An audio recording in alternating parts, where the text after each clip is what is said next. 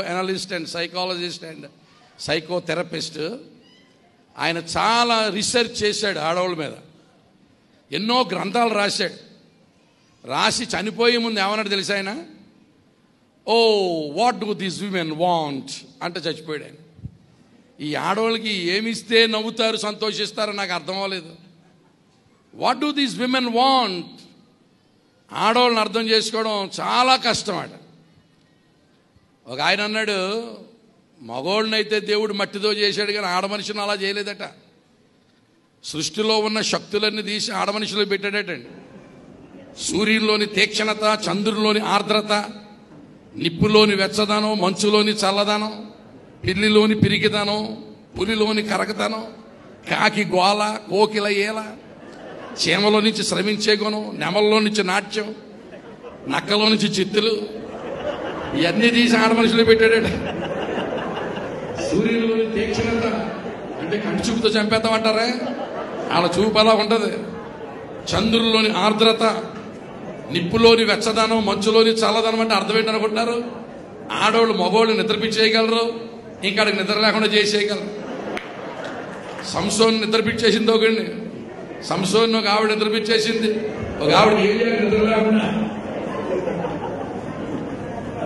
నిప్పులోని వెచ్చదనం మంచులోని చల్ల ఆడవాళ్ళు చాలా పిల్లిలాగా పిరికోడు పొద్దున్న గంటే భయం బెల్లంటే భయం అన్ని భయాలు పిరిగింది కాదా? రెచ్చిపోయావో బిగిసిపోతారంటే తీసిందా మనకి దగ్గర దగ్గర మాంసం.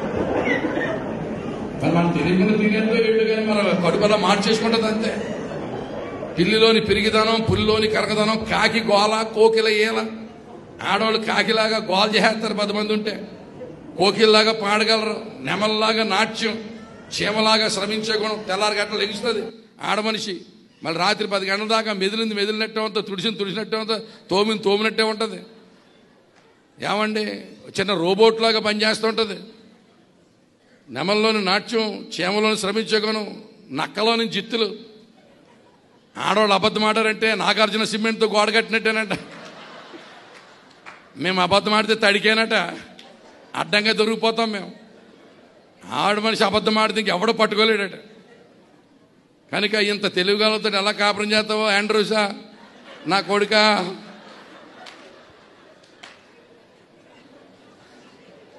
దేవుడే సాయం చేయాలి తండ్రి.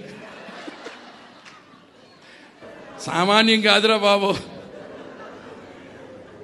ఆడవాళ్ళు ఎటువంటి వాళ్ళు అంటే వాళ్ళు అడిగిన వెళ్దాం అనుకున్నారు అనుకో ఎప్పుడు తయారైపోతారో ఎప్పుడు ఉండేస్తారో ఎప్పుడు తుడిచేస్తారో ఎప్పుడు సగపెట్టేస్తారో తెలియదు వెళ్ళకూడదు అనుకుందా? నీరసం అంటది అంతే.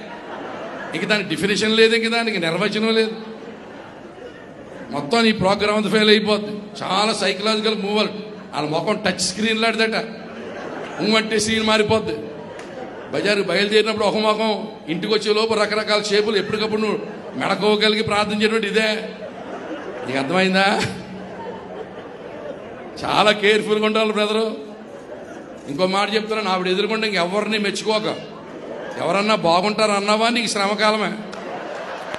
ఎవరిని మెచ్చుకోకు. నీవు తప్ప వేరొక దేవుడు లేడు ఇదే మినిస్ట్రీ నీది. నువ్వు బతకాలనుకుంటే అదే. ఆడ మనిషి ఇంకెవరిని పొగడకే? చాలా గొడవలు అయిపోతాయి. ఎవరు బాగా వండుతారని కానీ అలా బాగుంటుంది. అన్నావా? నీ తెచ్చుకున్నావు అనమాట కొంప. కనుక బాగా ఉండి బాగా బతుకేనా మన ఒక ఆయన ఓ పెళ్ళి క్యాసెట్ నాకు మా అతను ఓ ఇంట్లో ఏడు చేస్తాడంట టీవీ చూస్తా. భార్య అడుగుతుందంట ఏం సీరియల్ అని బాబు అంతలా ఏడు చేస్తారంటే అన్నారంటే సీరియల్ కాదే మన పెళ్ళి క్యాసెట్ ఆ పెళ్ళి క్యాసెట్ వేసుకున్నా బతికేలాగా అయిపోయిందా వేళ? పెళ్ళి క్లిక్ అయితే పరమగీతమే ఫెయిల్ అయితే విలాపవాక్యాలే. డ్రామాలో అంగలార్పు. మనోడు పెళ్ళి క్లిక్ అవ్వాలని మనందరం ప్రార్థన చేద్దాం. దేవునికి స్తోత్రం కలుగునగాక. చాలా మంచిది. ఎంత ప్రసంగం చేసినా ఎంతమంది చెప్పినా ఒకటే సారాంశం ఏంటంటే బాగా బతకమని. చిన్న చిన్న గొడవలు వస్తాయి. అడ్జస్ట్ అవ్వాలి. పెళ్ళిలో మా భార్య మాత్రం మంచి గొడవ రాలేదనో చేయి పైకెత్తండి.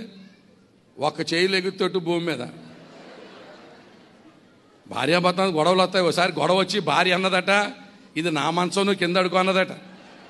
ఈయన సారి తెచ్చుకుంటారు కదా ఆడవాళ్ళు మా అమ్మోళ్ళు ఇచ్చారు మంచం. ఇది నాది నువ్వు కింద అడుకోండి కింద అడుకున్నాడు అంటాడు.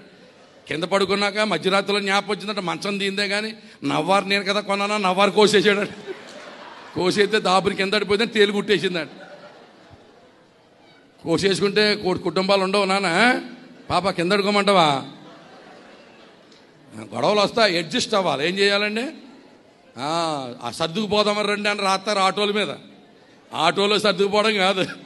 సంసారంలో సర్దుకుపోవాలి. ఆటో ఇక్కడ ఎక్కుతాడు దిగిపోతాం. ఇంక దిగడం ఉండదు ఇది. So adjustment is very important అన్నానా? ఏంటన్నావా?